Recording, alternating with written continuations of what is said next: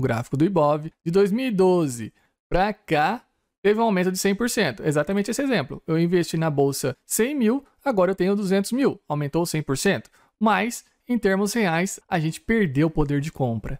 E agora vem a questão: como a gente pode se proteger desse sistema? É tendo uma boa reserva de valor, um dinheiro que mantenha suas propriedades ao longo do tempo. E vemos por esse exemplo que dinheiro de bancos centrais, essa moedinha Fiat que a gente usa, esse papelzinho colorido, aumenta, ou seja, tem seu fluxo aumentado em torno de 13% ao ano. E seu estoque dobra a cada seis anos. 80% de todas as unidades monetárias foram impressas desde 2008 e o futuro é incerto. Todos os anos, os bancos centrais estão investindo cada vez mais dinheiro para se financiar, promovendo uma grande inflação na sociedade, desvalorizando seu tempo de vida. Isso mesmo, todas as vezes que o Banco Central emite novas unidades de dinheiro, ele está desvalorizando seu tempo de vida. Você trabalhou e economizou aquela quantia para comprar aquele objeto de desejo que você tem. Mas quando o governo emite mais dinheiro, aquele dinheiro que está poupado perde valor. Você precisa trabalhar muito mais e economizar muito mais dinheiro, pois aquele objeto terá o seu valor aumentado. Então agora precisamos de um dinheiro duro, um dinheiro que resista ao tempo e que não possa ser desvalorizado ou seja impresso por alguma arbitrariedade de político. Portanto, vamos achar um dinheiro forte, um dinheiro resistente e encontramos no ouro uma excelente reserva de valor o seu fluxo cresce 1,8% ao ano. A sua mineração consegue apenas aumentar em relação ao seu estoque 1,8% ao ano. Leva 39 anos para dobrar a quantidade de ouro emitida, para dobrar o seu estoque. Sensacional! Mas o ouro tem grandes problemas. Como a gente vai armazenar esse ouro? Como nós vamos transportar esse ouro? Qual é a segurança que precisamos para o ouro e também será que temos ouro de verdade em casa? A gente tem máquina para analisar se esse ouro é 100% puro? Tem várias complicações para que a gente possa guardar uma reserva de valor como o ouro. Do contrário, agora temos o Bitcoin. Ufa, até que enfim, vamos falar de Bitcoin. Por que, que o Bitcoin é a melhor reserva de valor que você pode encontrar? O Bitcoin tem seu fluxo a sua mineração é entrada de bitcoins na sociedade em apenas 0,08% ao ano. Apenas isso. E levaria 841 anos para que seu estoque dobrasse. Mesmo assim, nem será possível. Isso é impossível pelo protocolo. Uma vez que o Bitcoin terá apenas 21 milhões de unidades. Exatamente isso.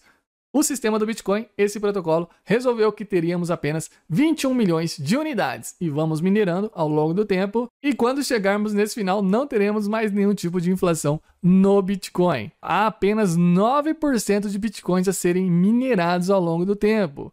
E esse último Bitcoin será minerado lá em 2141. Existe uma coisa chamada halving, que é o corte da recompensa de mineração. Do mesmo jeito que o ouro, quando a gente vai minerando, a gente começa na superfície, que é bem facinho de minerar, depois vamos para as camadas mais baixas da Terra, vai ficando cada vez mais difícil de minerar. O Bitcoin também tem uma programação nesse sentido. Conforme o tempo vai passando, o sistema ajusta as suas recompensas pela metade a cada quatro anos. Por isso que ele cresce de uma maneira muito pequena o seu estoque em relação ao fluxo. E para terminar essa aula, vamos ver a inflação do Bitcoin.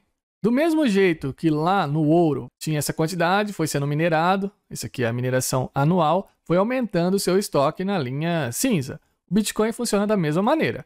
Ele começou, não havia nenhum Bitcoin, começaram a minerar, um, dois, três Bitcoins, essa linha laranja representa o estoque de Bitcoin na sociedade, e a linha azul é o seu fluxo, é a sua inflação, é a sua capacidade de produção. Logicamente, no início, quando começou o Bitcoin, havia apenas um, depois dois, 100% de aumento. E conforme foi aumentando os Bitcoins, no primeiro ano, a mineração chegou a ter uma inflação de 282 mil por cento. Claro, não tinha nada, agora temos alguns Bitcoins sendo minerados. O tempo foi passando, foi aumentando o estoque de Bitcoin, a linha laranja, e foi diminuindo a inflação. Hoje estamos com uma inflação de 1,69%, bem abaixo da inflação do ouro.